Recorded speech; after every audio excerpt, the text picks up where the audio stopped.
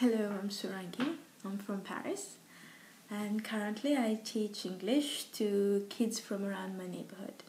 But I really want to become an English teacher, so that's why I did the TEFL course, and um, it has been really helpful because um, there were so many things I didn't know about teaching, such as teacher-student interaction and uh, planning your lessons, and also about discipline and uh, I was also able to brush up on the basic points of grammar.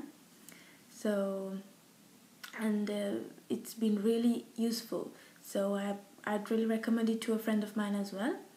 And uh, also, I'm really looking forward to do the course on teaching young learners because that's what I'll be doing.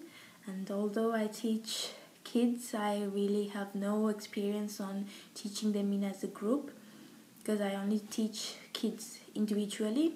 So I really want to learn how to teach kids together and uh, you know how to interact with them and what and what I shouldn't be doing.